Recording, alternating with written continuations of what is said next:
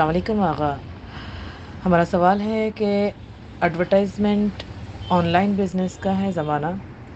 Jewellery کے لیے کیا ہم کسی لڑکی پہ اپنا نیکلیس ڈال کر فوٹو شوٹ کر سکتے ہیں یا ایڈ کر سکتے ہیں؟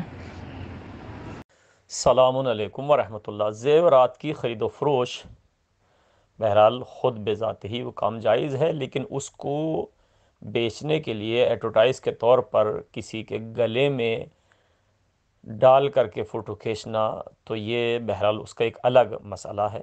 اس سے خرید و فروش سے کوئی تعلق نہیں ہے۔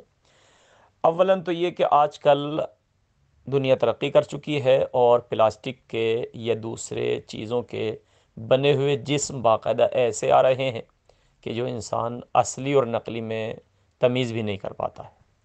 لہٰذا ہاتھ اور گردن گلے بنے ہوئے پلاسٹک جیسی چیزوں سے موجود ہیں۔ لہٰذا اگر آپ کو وہ چوڑیاں بیچنی ہیں تو پلاسٹک کے ہاتھ موجود ہیں۔ ہار بیچنے ہیں جو گلے کی چیزیں ہوتی ہیں، اس کے لیے باقاعدہ نیکلس وغیرہ۔ تو پلاسٹک کے گلے، گردن ایک سے ایک اچھے بازار میں موجود ہیں۔ ضروری نہیں کہ کسی زندہ انسان کے گلے میں ڈال کے فوٹو کھینچا جائے۔ یہ ایک مسئلہ ہے۔ دوسرے یہ کہ اگر آپ کو ڈال، گلے میں ڈالنے کے بعد فوٹو ہی کھینچنا ہے۔ تو گردن چونکہ اس حصے کا میں شمار ہوتی ہے جس کا حجاب واجب ہے، پردہ واجب ہے۔ تو یا تو اس کے اوپر کوئی ایسا کپڑا، ایسے کپڑے پہنانے کے بعد کہ آپ کا وہ نیکلس اور آپ کا وہ ہار تو نظر آئے، لیکن بدن کا حصہ نظر نہ آئے۔ چونکہ آپ نیکلس اور ہار بیچ رہے ہیں، لاکٹ بیچ رہے ہیں، آپ کسی انسان کو تو نہیں بیچ رہے جو اس کی کھال اور اس کا بدن دکھانا ہو۔ تو یا تو ایسے کپڑے پہنا دیے جائیں اس کو، اس لیڈیز کو، یا جس کے بھی گلے میں ڈال کے آپ کو فوٹو کھینچنا ہے، تاکہ بدن نظر نہ آئے، وہ آپ کا نیکلیس، وہ آپ کا ہار، وہ آپ کا لاکٹ، وہ آپ کی زنجیر، یہ چیزیں نظر آئیں، لیکن بدن کا حصہ نظر نہیں آنا چاہیے۔ تیسری صورت حال یہ کہ اگر بہرحال بدن بھی دکھانا ہے جبکہ وہ اس زیور کے خرید و فروش سے الگ کا حصہ ہے، تو کسی بھی مسلمان مومن حتیٰ مطلقاً مسلمان کے بدن کو دکھانا اس عنوان سے جائز نہیں ہے۔ یعنی کسی مسلمان لڑکی کا بدن، کسی مسلمان خاتون کا بدن آپ اس کام کے لیے استعمال نہیں کر سکتے۔ غیر مسلم کا استعمال کیا جا سکتا ہے، لیکن دو شرطوں کے ساتھ۔ ایک شرط تو یہ ہے کہ وہ غیر مسلم کا بھی بدن ایسا نہ ہو کہ جس کو کوئی دیکھے اور اس کے یہاں سیکس، شہوت اور گناہوں کی طرف اس کو رغبت ہو، چاہے وہ دیکھنے والا مسلمان ہو یا غیر مسلمان۔